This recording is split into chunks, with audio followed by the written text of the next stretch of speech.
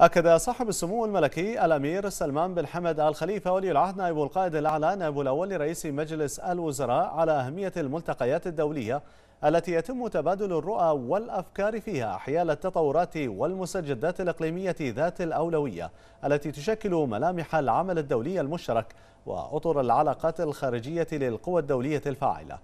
وقال سموه إن مملكة البحرين تحرص على الإسهام الإيجابي في هذه الملتقيات من خلال الاستضافة والمشاركة الفاعلة مشيرا إلى أهمية التفاعل الحيوي مع منتدى حوار المنامة الذي تستضيفه المملكة سنويا بتنظيم المعهد الدولي للدراسات الاستراتيجية على مدى 12 عاما.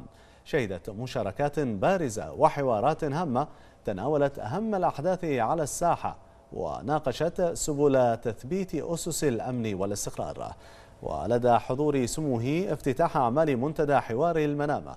رحب سموه بالوفود المشاركة من مختلف دول العالم والمنظمات الدولية. مشيدا سموه بمشاركات بمشاركاتهم التي أثرت أثرت جلسات المنتدى ونقاشاته عبر السنوات التي انعقدت فيها الفعالية في مملكة البحرين. وما ركزت عليه من قضايا استراتيجية شكلت تحديات تطلبت تنسيق الجهود والمواقف من أجل التعامل معها. وقال سموه إن البحرين بقيادة حضرة صاحب الجلالة الملك الوالد حمد بن عيسى الخليفة عاهل البلاد المفدى حفظه الله ورعاه والتزاما بدورها في دعم قضايا المنطقة حرصت على التنسيق والتعاون مع الشركاء الدوليين والإقليميين للتعامل الحازم مع كل أشكال الإرهاب باختلاف مصادره ويأتي ذلك في إطار مشاركتها في التحالف العربي من أجل دعم الشرعية في اليمن الشقيق بقيادة المملكة العربية السعودية الشقيقة وأيضا التحالف الدولي لمحاربة الإرهاب. وأشار سموه إلى أن انعقاد منتدى حوار المنام هذا العام مباشرة بعد قمة دول مجلس التعاون لدول الخليج العربية السابعة والثلاثين. يرفد زخم هذا الحدث خاصة مع حضور رئيسة الوزراء البريطانية تيريزا ماي هذه القمة في أول زيارة لها إلى المنطقة ما يدل على التواصل بين دول مجلس التعاون لدول الخليج العربية والدول الكبرى وانعكاسات ذلك على أطر التنسيق والتعاون على المستوى مستوى العلاقات البينية وكذلك فيما يتعلق بعقد شراكات استراتيجية بما يتيح التعاطي مع القضايا الدولية الملحة. وشار اسمه إلى أنه منذ لقاء كبار المسؤولين الدوليين في العلاقات الخارجية والدفاع والأمن في حوار المنام العام الماضي شهد العالم هجمات إرهابية ما يؤكد على ضرورة تعزيز منظومة الجهود الدولية المتضافرة على الصعد السياسية والعسكرية والاقتصادية للتصدي للتيارات التشددية والتطرف.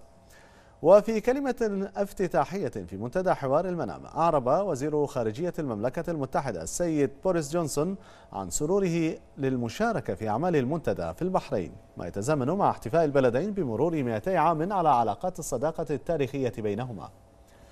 وأكد جونسون على التزام بلاده بالعلاقات التاريخية مع دول مجلس التعاون لدول الخليج العربية معتبرا دعوة رئيسة الوزراء تيريزا ماي لحضور قمة المجلس بالمنامة مؤشرا هاما على قوة هذه العلاقات.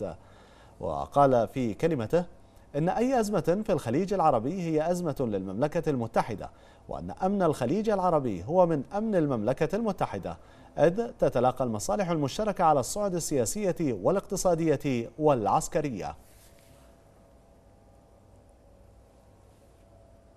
هذا وأشار جونسون إلى أن مرافق تسهيلات الإسناد البحري للبحرية الملكية البريطانية من الملامح البارزة للعلاقات الراسخة مع البحرين.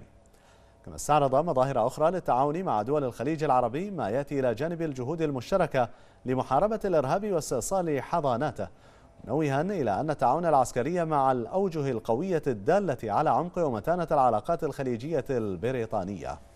كما أكد السيد بوريس جونسون على حرص المملكة المتحدة للتعاون والدعم بما من شأنه إيجاد حلول للقضايا والتحديات الملحة في المنطقة.